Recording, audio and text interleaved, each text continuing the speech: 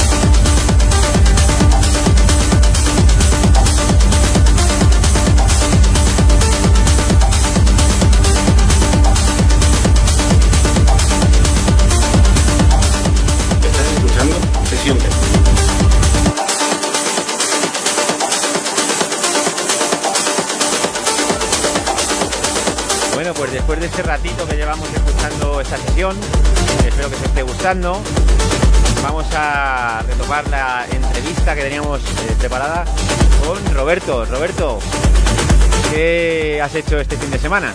Pues nada, hola, ¿qué tal? Nada, darte las gracias por darme la oportunidad de venir aquí a, vuestro espacio. Y nada, lo que he hecho este fin de semana, pues este fin de semana poco. La verdad que hemos hecho poco. Hemos estado tranquilamente en casa y no, no hemos, salido. ¿No has podido salir entonces a disfrutar de la música que no, tanto nos gusta y nos mueve? Pues sí, este fin de semana la verdad que me lo he tomado sabático y he estado en casa en el- con el ordenador ahí tranquilamente, viendo películas, Netflix y descansando un poco.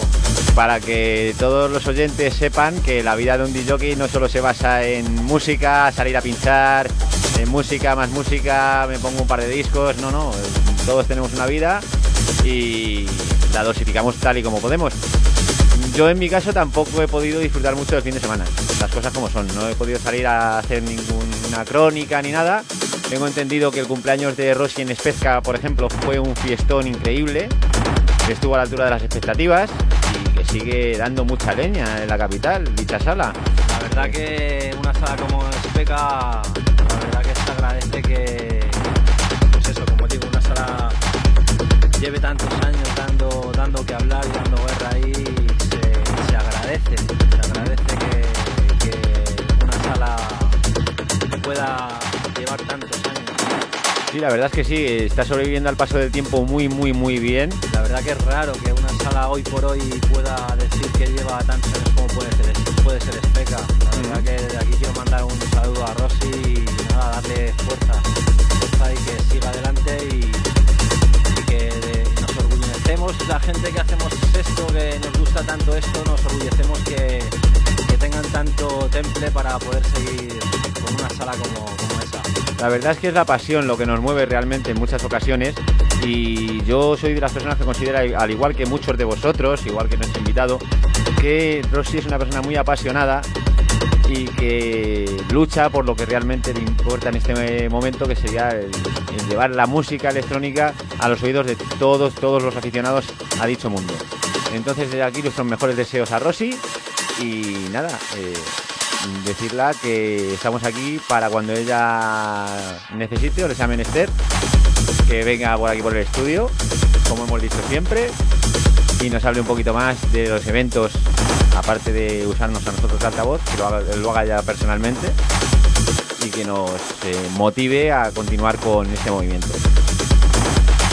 Por lo demás, eh, bueno, como os íbamos comentando, eh, tenemos, como el año pasado hacíamos una sección de agenda, no he traído una agenda en concreto, sino un par de eventos destacados, que os los indicaré a continuación. Pero antes, como hemos dicho al inicio de este programa, queríamos saber de dónde viene Roberto Merino, qué es lo que le inspiró a entrar en este mundo y bueno, que nos ponga un poquito al día. Entonces, Roberto, ¿cómo empezó tu pasión por la música electrónica? Pues mi pasión por la música electrónica empezó. Yo era un chaval que cumplía 17 años. Yo había escuchado música, pues música totalmente distinta Yo como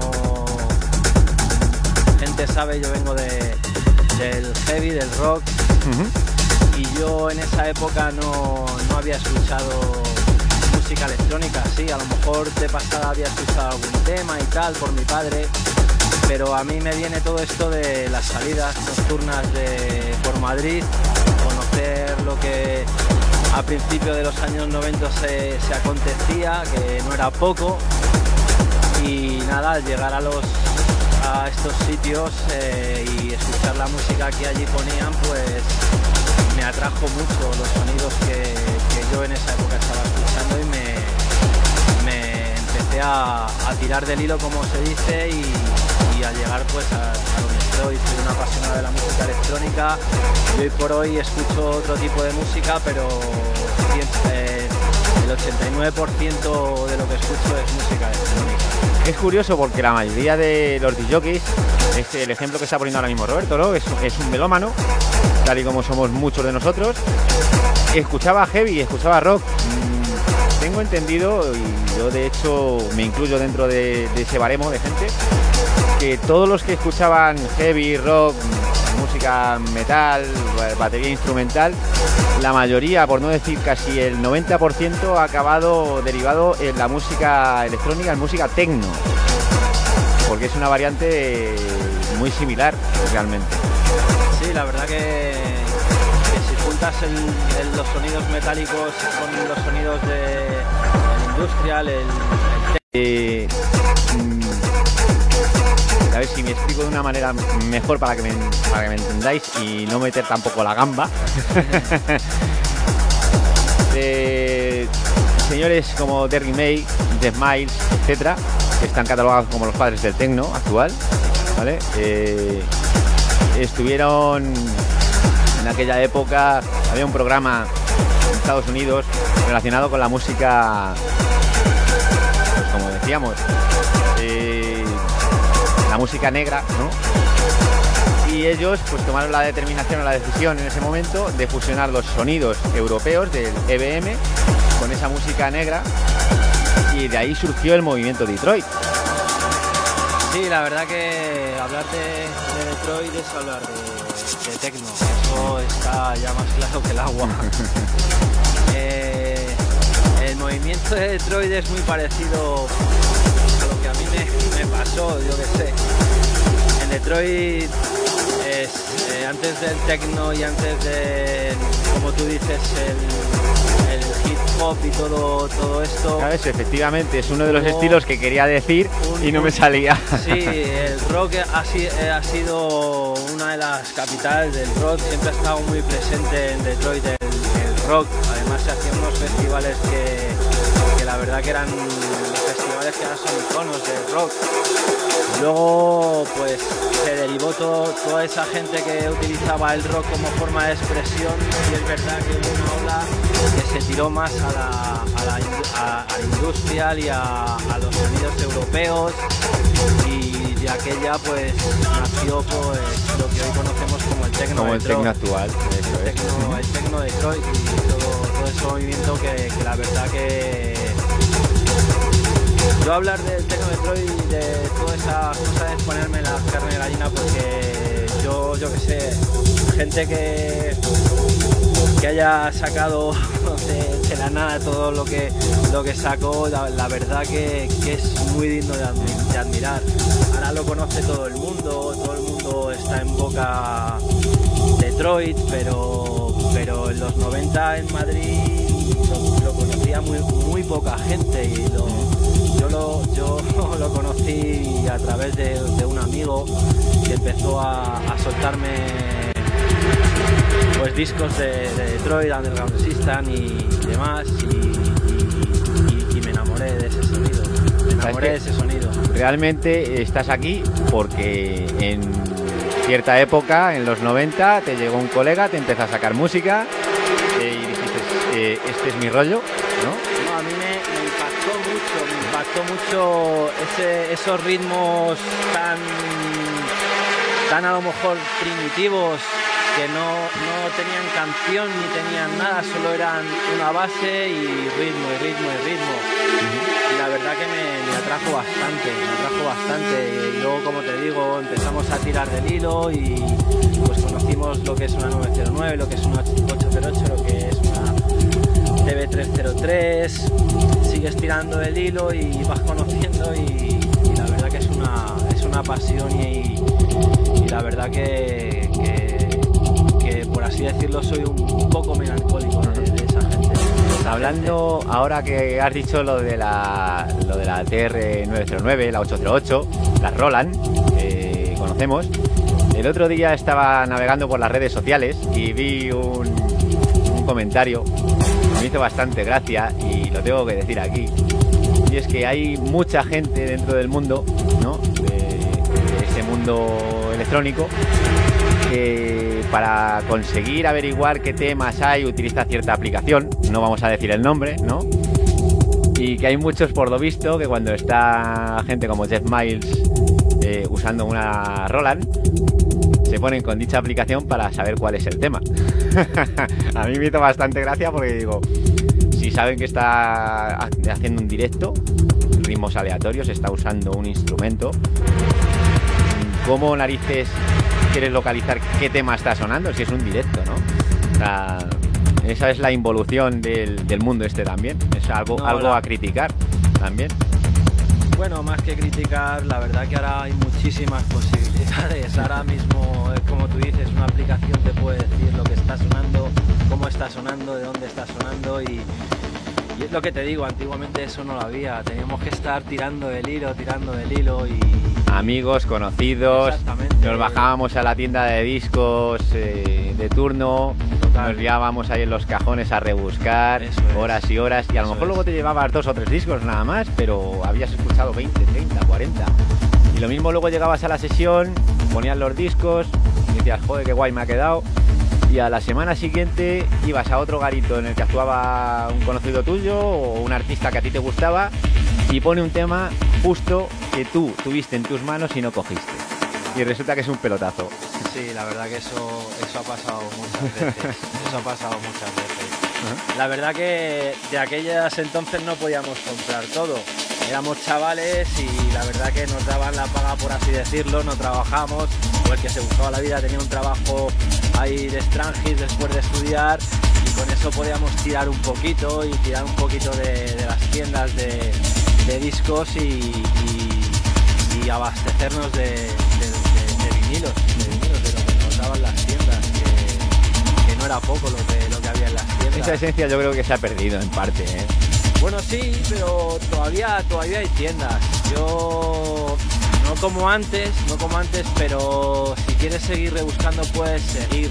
Lo que pasa que la era, como te digo, ha cambiado y por ahora mismo pones el título de una canción y te sale, te sale lo que cuesta, el que mejor está en, estado y el que mejor está en estado y te sale el precio de lo que vale. Hablamos de otra web igual muy famosa que más de uno conocerá y oyentes utilizarán. Claro, o sea que eso antes no lo había, es lo que tú dices, tenías que tirar, tenías que tirar y de esos discos que te sacaba el, chico de la tienda tenías que hacer tu, tu, criba, tu criba por así decirlo y decir, este me gustaría llevármelo pero no, no lo llevo porque me llevo estos tres que me cuesta tanto y tal. Eso nos ha pasado a todos, pero la verdad que, que era muy bonito, la verdad que era muy bonito, era muy bonito, de hecho yo yo a mediados de los del 2000 todavía lo hacía. Todavía iba a tiendas de Madrid que las que quedaban e incluso me llevaba mi, mi, aparato para escucharme los discos, no comprarlos por comprar y, lo hacía y la verdad que, era es una esencia bastante bonita. Bastante bonita. Recordando igual ese momento también del 2000 al 2004 más o menos, yo era cogerme porque lógicamente ya no tenía los 35 años que tengo ahora, ¿no? Tenía 18, 19 añitos. Me cogía mi autobús desde Toledo, me plantaba en Madrid y me tiraba todo el día en Madrid.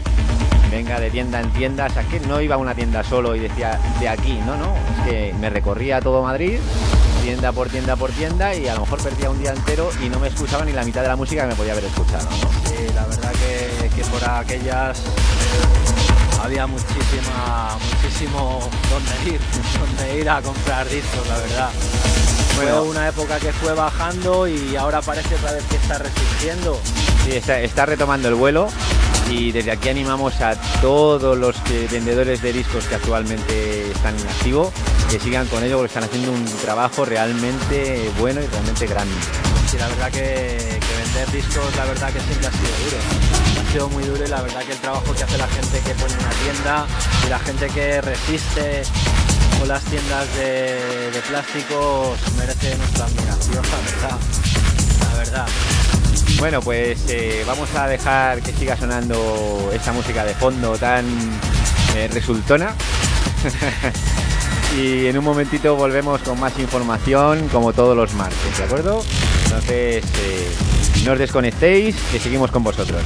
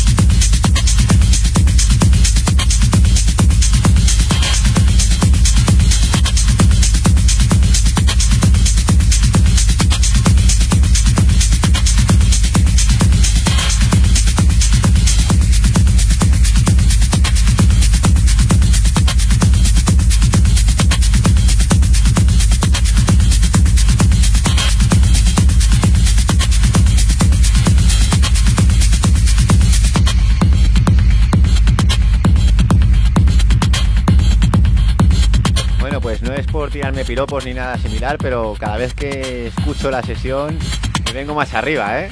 ¿Tú qué piensas, Robert? Está, está, está, está genial. Está guay, ¿no? Está mortal. Bueno, eh, vamos a empezar con la sección que teníamos Tadiel y yo dudas.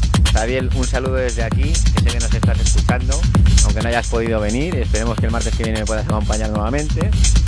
Y vamos con la sección, entre comillas, ¿no? Esas recomendaciones que hacemos de dónde salir los fines de semana. Este fin de semana pues tengo muy poquitas opciones, pero las tengo muy selectas. Tenemos el viernes 25, que es... Tenemos Stardust y vuelve Nole con un invitado que es Fem. Mm, Vamos a ver, es un musicón súper, súper garantizado, seguro. Ya simplemente la opción de Nole, que es un artistazo nacional al cual no te puedes perder, merece la pena ir, pero con Fem, un tándem, va a ser brutal esa noche. El sábado, según salgáis el viernes de Stardust, podéis ir a una sesión matinal que ya lleva unas cuantas ediciones, que es Alter Ego Club. Y este fin de semana cuenta con la sesión de El Svan, nuestro amigo El Svan también. Un saludo para ti también desde aquí. Y Jorge Blow Up, otro amigo del programa. Pinta muy bien este set igual, ¿eh? Si salís con ganas el viernes de Stardust o del evento al que vayáis y queréis ir desde las 6 de la mañana del sábado a Alter Ego Club, es altamente recomendable. Y luego ya, si el cuerpo aguanta o si no habéis ido a ninguna de las dos y queréis ir el sábado por la noche a algún sitio, hay un evento muy, muy, muy destacado y lo hablaba igual con nuestro invitado, con Roberto, hace un momentito fuera de, fuera de antena. Y es el evento de Z Tecno Club, en el cual el cabeza de cartel es Master Bonzeta, el señor Clemente, otro amigo nuestro, al que queremos muchísimo, que va a pinchar tecno, señores. O sea, no va... A nosotros a Clemente le conocemos más por el rollo, el tema del overdrive, ¿no? El hard trance, el trance, el tecno progresivo. Sí, tiene una, tiene una faceta ahí. de- siempre le ha gustado mucho el industrial. Siempre ha sido mucho de, de sonido oscuro industrial ahí muy potente. Ha sido. Pues en esta, en esta ocasión es que es, por eso digo que es el evento recomendable, es el evento de la semana, porque escuchar a Master Bonzeta pinchar tecno es, vamos, una vivencia única. Es un tío con una cultura musical increíble, es súper fino pinchando y no es que le quiera hacer la pelota, es que es en realidad. No, no es cierto. y eh, es un evento que no te puedes perder, realmente no te puedes perder. Eh, Z Tecno Club, como os he dicho, va a contar con Master Bonzeta, que estará acompañado de Nacho de Coder, Ramé, Real, Alter Mind, 535, no sé si se dice así 535 porque números romanos, entonces yo lo interpreto como puedo. Coeb, Germán Agudo, Beni Sierra, Fernando López, Fernando López, perdón, y Minimis. O sea, es que además es un cartel extenso. La O sea, verdad que sí. no sé yo si va a dar tiempo a aguantar tanto, se va a poder disfrutar de la sesión, pero bueno, como os he dicho es un evento altamente recomendable y os animo a que asistáis. Roberto, como me ha dicho que no suele salir últimamente, pues a ver si se anima y se viene con nosotros a disfrutar un poquito de la musiquita. No te creas, últimamente sí estoy haciendo alguna escapadita, ¿eh? Sí, sí suelo hacer alguna escapadita, pero vamos. Pues esto es como no, hablaba, no, no, no lo descartes, que me veas esto es como hablábamos Tadiel y yo en muchos programas anteriores, que decíamos, hay que salir, hay que salir porque si no uno no toma la medicina llamada tecno y cuando, y cuando empieza la semana, empieza la semana peor que si hubiera salido, ¿no? yo un día vino aquí malísimo, malísimo un martes y dijo, claro, es que este fin de semana no he salido, Miguel, ¿qué quieres? Pues es que hay que salir, Hay que efectivamente. salir y ver lo que hay en la escena y empaparse de todo, de todos los artistas que no son pocos los que ahora, los que hay ahí ahora en la escena. Bueno, había otro, otro evento también. Antes hemos hablado de la Catedral del Tecno en Madrid, catedral por antonomasia, la nave de nuestra capitana Rosy, que es Spezka, y tiene un evento con Carlos Gila y con su compañero de batallas Equal, un, B, un B2B, y está bastante interesante también. Aquí hay opciones para dar y tomar. Si no vais a un sitio por ciertos motivos, podéis ir al otro. O sea, siempre damos varias opciones por, por esa razón. Y desde aquí igual, a Igual y a Carlos Gila, desearle eh, los mayores éxitos posibles para esa noche y que la puedan liar muy, muy, muy parda. Seguimos escuchando un poco más de música y vamos preparando la cabina para el set de nuestro amigo Roberto Merino. A ver con qué nos sorprende hoy a los platos. Llevamos una temporadita, eh, Roberto, que los tres primeros programas están siendo solo plásticos. Sí, ¿Qué te parece?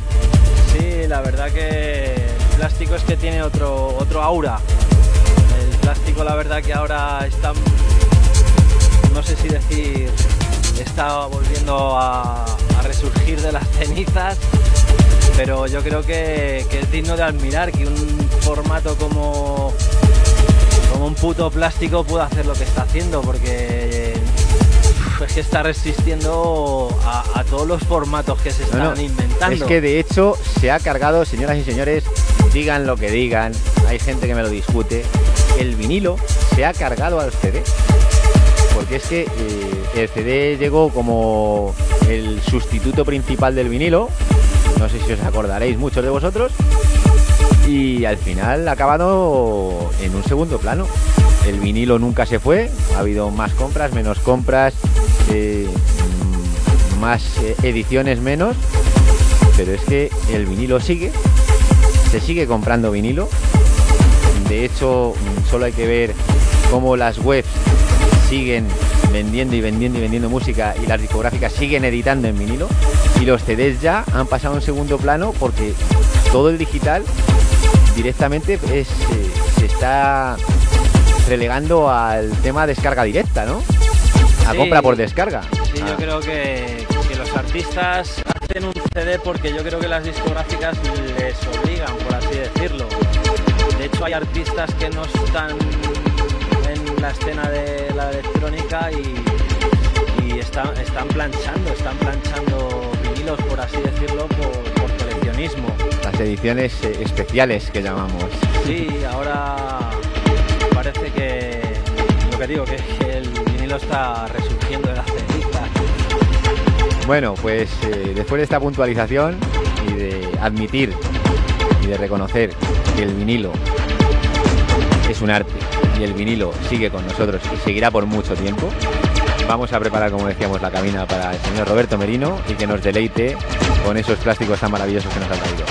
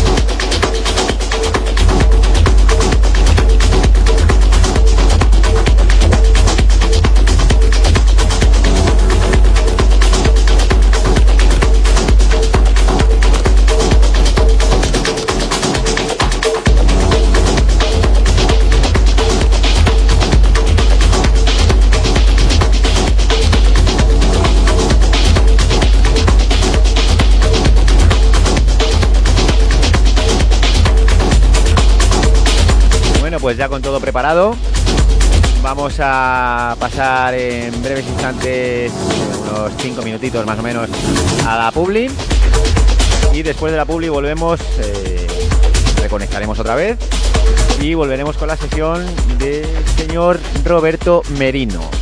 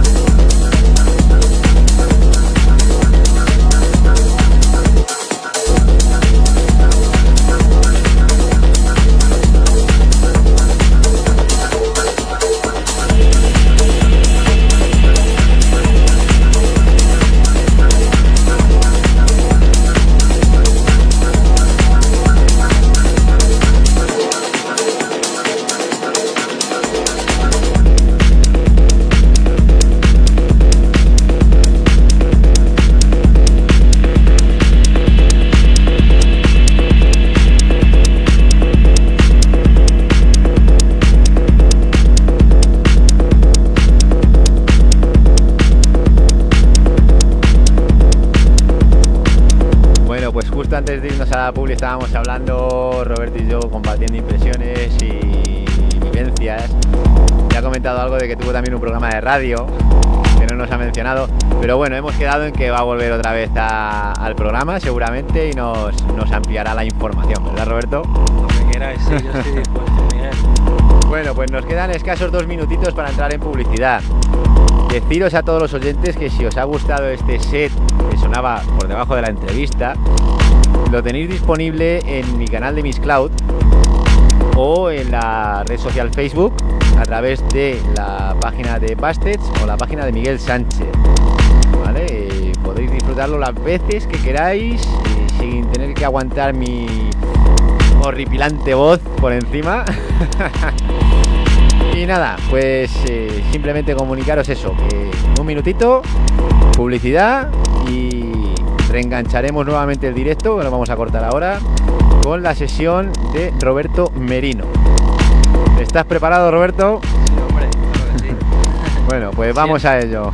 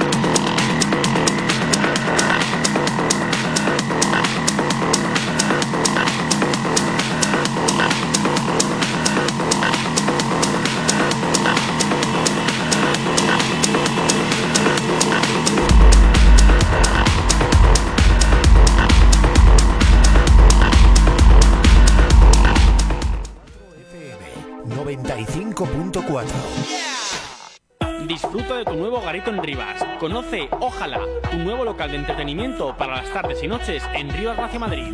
Tú me confundes, no sé qué hacer. Espectáculos, actuaciones en directo y mucho más. Estamos en el centro comercial Coco Rivas. Abrimos jueves, viernes, sábados y vísperas de festivo. Síguenos en nuestras redes sociales.